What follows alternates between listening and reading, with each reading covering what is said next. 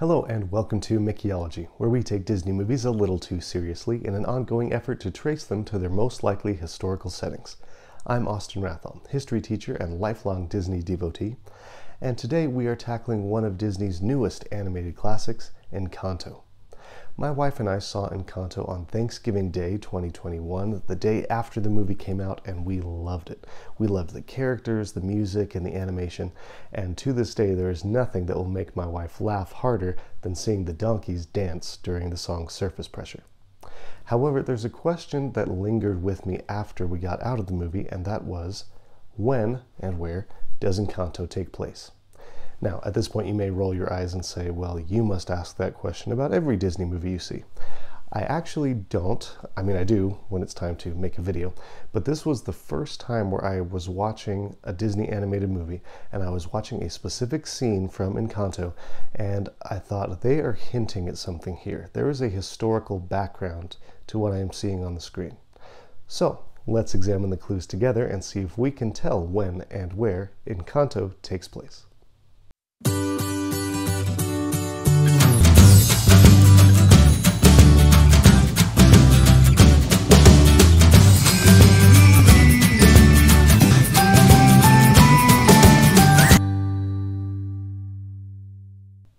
Clue number one music.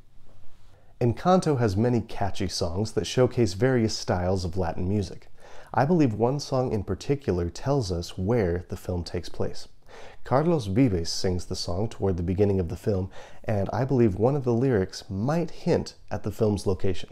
Let me play you a clip and see if you can pick up on it.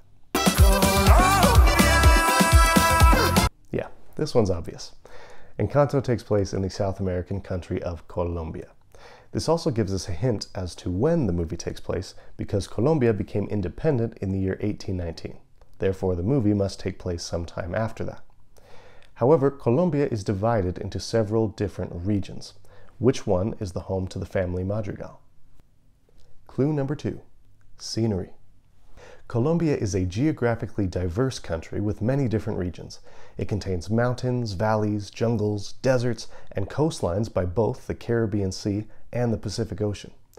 Filmmakers decided to incorporate all of Colombia's various landscapes into Encanto by featuring each region in different rooms of the Madrigal Casita. For example, Bruno's room was inspired by the Colombian rock formations the Estoraques, and Antonio's room was inspired by the Choco rainforest region. Disney filmmakers visited Colombia and saw the country's diverse geography firsthand. They went to Bogota, Cartagena, Barichara, Salento, Palenque, and the Cocora Valley. However, of all the regions the artists visited, it was the Cocora Valley that inspired them most. In a Disney Plus featurette, co director Jared Bush said, once we were walking through those amazing wax palms and seeing the clouds coming over the mountains, it was so picturesque and unusual and wonderful. We knew that that's where the movie should be set. It's easy to see how closely that place resembles the valley in the film. Therefore, we know that Encanto clearly takes place in the Cocora Valley of Colombia. That still leaves the question of when the film takes place. Lucky for us, the casita is filled with clues that may hold the answer. Clue number three objects. The Madrigal family lives isolated in the safety of their encanto. Since we never see any of them leave the valley, we don't get to see much of the outside world. However, the casita itself is littered with objects that hint at the film's place in time, six of which are especially helpful. First is an accordion. Near the beginning of the film, Mirabel plays an accordion, and we know that the accordion was invented in the 1820s. It arrived in Colombia in the mid 19th century. Therefore, we know that Encanto must take place sometime after that. Second is a sewing machine. In Mirabel's room, we get a glimpse of an old fashioned sewing machine. This appears to be a Singer sewing machine, which Isaac Singer patented in the year 1851. Therefore, we know that the movie must take place sometime after that. Third is flash powder. After Antonio receives his gift, the Madrigal family, everyone except Mirabel, gathers for a photo. The photographer, in order to achieve a flash, ignites a substance called flash powder, which came out in 1887. Therefore, we know the movie must take place sometime after that year. Fourth is electricity. During the song Dos Oruguitas, we see a flashback to the night Abuela Alma met Abuelo Pedro. The two of them are clinging to what appear to be electric lampposts. Now, electric light arrived in Colombia around the year 1890, so we know the movie must take place sometime after that. Fifth, surprisingly enough, is the Titanic. In the song Surface Pressure, we see a gag referencing the Titanic sinking, complete with an orchestra of burros who are playing the violin as the ship barrels toward an iceberg. If this scene is taking place inside Luisa's mind, then she must be aware of the Titanic sinking, and that happened in 1912. Therefore, the film might take place after that year. Finally, when Mirabel visits Bruno, he offers to have his rats entertain her. He seems to know about television even though he doesn't have a TV himself. Instead, he's constructed these bizarre little cardboard TV screen cutouts for his rats, and he offers Mirabel the option of seeing sports, game shows, telenovelas.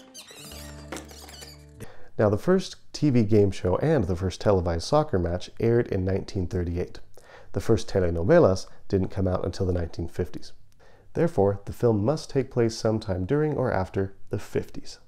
Before we can say for certain the film takes place in the 50s, though, we have to account for one more scene, one that's crucial to Encanto's story. During the song Dos Oruguitas, we see a flashback that tells us why Mirabel's abuela came to the valley where they now live. Mirabel's grandparents were forced to flee their home when men attacked their town. As they were fleeing, a group of armed horsemen came to hunt them down. Mirabel's grandfather died fending off these attackers, sacrificing himself to save his neighbors, his wife, and his newborn children. If we want to know for certain when Encanto takes place, we must identify when this event occurred. To find that out, we have to uncover an episode in Colombian history that would have forced families like the Madrigals to become refugees. Clue number four historical context. One of the most common reasons that people become refugees is war which tends to cause the kind of violence and political unrest that seem to have forced the Madrigals to leave their town. Colombia had several major wars in the 19th and 20th centuries. There was the War for Independence, which lasted from 1810 to 1823, the War of a Thousand Days, which lasted from 1899 to 1903, and La Violencia, which lasted from 1948 to 1958. Which of these wars, if any, is the one that would have displaced the Madrigals? Well, on the night that Antonio receives his gift, Abuela gives a speech to her guests in which she says, Fifty years ago, in our darkest moment, this candle blessed us with a miracle. If it's been 50 years, then the Madrigals can't have fled during the War for Independence. That would put the story around the year 1860, so it's too early for characters to be using things like flash powder and talking about things like telenovelas. They can't have fled from La Violencia either, because that would put the story around the year 2000, which is too late for characters to be using things like flash powder. However, if they fled during the War of a Thousand Days, that would put the story around the year 1950, which is exactly the year that all the rest of the evidence suggests. So the question is was the War of a Thousand Days violent and severe enough to displace families like the Madrigals? In her book Inside Colombia, Professor Grace Livingstone wrote, quote, In the 19th century, there were eight civil wars. As liberal and conservative peasant armies swept through villages committing atrocities, each generation vowed to avenge the last attack, and a dynamic of violence followed by reprisals emerged. The longest and bloodiest of the bipartisan wars was the War of a Thousand Days, in which an estimated 100,000 people died. The war was a fight between Colombian liberals and Colombian conservatives. In 1898, Colombia's conservatives made Manuel Antonio Sanclemente, a conservative, the new president. Colombia's liberals were angry at this because not only had the conservatives kept liberals out of the presidency for years, but also barred them from holding most other offices in the national and even local government. At the same time, one of Colombia's most important exports, coffee, took a steep drop in price, leading to economic instability. Liberals blamed the conservative government for causing all this turmoil and rebelled against what they saw as a totalitarian regime. In 1899, the Liberals went to war with the government. The two sides fought each other for months on land and water. At first, the Conservatives had the upper hand, but then the tide turned in the Liberals' favor. Then, in May 1900, the two sides faced off in the Battle of Palo Negro. This battle lasted for two weeks and caused the deaths of 4,000 men. After the battle, bodies lay strewn across the battlefield. Some of them were already dead, but others lay there and had to die a slow and excruciating death. Family members wandered the battlefield searching for their loved ones. Nuns helped people in need on both sides, and the dead and decaying bodies contaminated the local water supply. After this battle, though, the liberals refused to give up, and they switched to guerrilla tactics.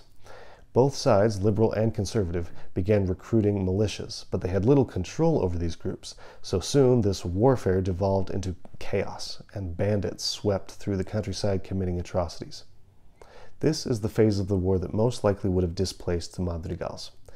The Madrigals and their neighbors were probably raided by either a conservative or a liberal militia, and that militia was either responding to the most recent attack or maybe just pillaging a town because no one could really stop them. Concept art from the film supports the theory that the Madrigals left during the War of a Thousand Days. In a deleted scene, Abuela and Mirabel return to Abuela's town. There, Abuela sees a mural dedicated to her late husband. It says, Pablo Madrigal, 1872 to 1900. Now, Disney changed Abuelo's name from Pablo to Pedro, but this shows that they did intend, at least at one point, to set Abuelo's death during the guerrilla period of the War of a Thousand Days, which would mean Mirabel's story unfolds in the 1950s. Conclusion Based on the movie's music, scenery, objects, and historical context, I am placing Encanto in the Cocora Valley of Colombia circa 1950. So, what do you think of my findings? When and where do you think Encanto takes place? Let me know in the comments and let me know which Disney movie you would like me to analyze next. Don't forget to like, subscribe, and follow me on social media. And as always, thank you very much for watching. I'll see you next time. Bye bye.